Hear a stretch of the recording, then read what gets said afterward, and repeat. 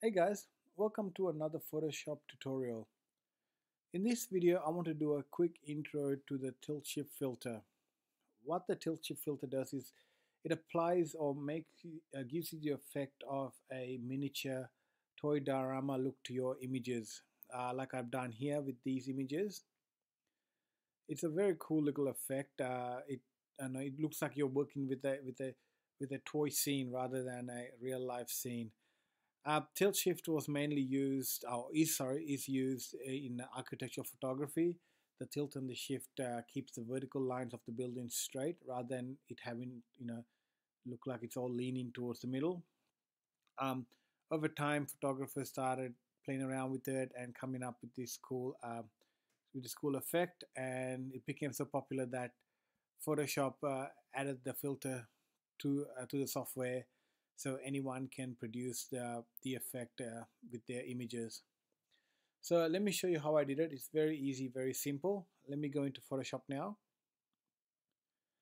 So this is the image I'm going to use. A couple of pointers. Um, it's best to use an image taken from above and something with a lot of detail uh, in the foreground background, like a lot of buildings, people, uh, things like that. So like I said, this is the image I'm going to use. I'm going to go into uh, layers, right click, and I'm going to duplicate uh, the layer because I want to work in a non-destructive way. So if I don't like the effect, I can just remove the duplicated uh, layer instead of starting all over again. Then I'm going to go into filter, uh, blur gallery and click on tilt shift now, here's the interface. Uh, this is the main interface I, I like using. There's also one here, the, the dialog box here on the right here. So let me start here first. Now, these, these two solid lines are where there's to where we're going to have the sharp area of the image. I can move it around by clicking in the middle here in this middle circle here and just move it anywhere I want on the image. I generally uh, put the, the sharp area where there's a lot of detail, where there's a, like, for example, a lot of people, a lot of buildings, things like that. It doesn't have to be horizontal. Depending on your image, you can also tilt it, hence the tilt shift. Um, uh, uh, the sharp area, you can, you, can, you can tilt it any way you like. I like to give a little bit of a tilt. Uh, so I like it that way. Now I'm going to rush through this. Like, uh, like I said before, take your time when it comes to doing your photo. Um, another thing is these dotted lines this determines how much of the compression I wanted. Obviously the closer I bring it to, to the you can do the bottom here as well. The closer I bring it to the to the sharp area the more compressed the uh, the image becomes or the effect gets enhanced. I try to not do it too close. I try to keep it just evenly on both sides and not too far out either just slightly uh, close to, to the to the sharp area. Now again, take your time. You can determine how much of that you want to do when it comes to your photo.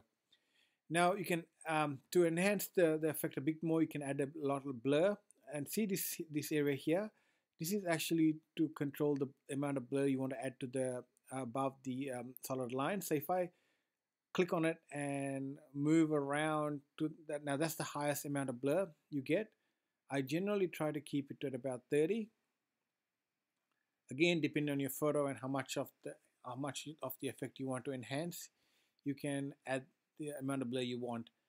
This same here this same can be adjusted here in the dialog box on the right hand side here with the slider. It does the same thing as this uh, this this what we did here in the circle area. So I just want to keep it about 30 and if once I'm happy with that I just click on OK and now it's going to apply the filter. There it is there. Let me hide the uh, the the filter layer. So that's the original image. Now I'm going to bring back the layer I applied the filter and there it is. Now just to sell it a little bit more I'm going to apply go to adjustment layer apply a hue sat and I'm just going to crank up the hue. Not too much.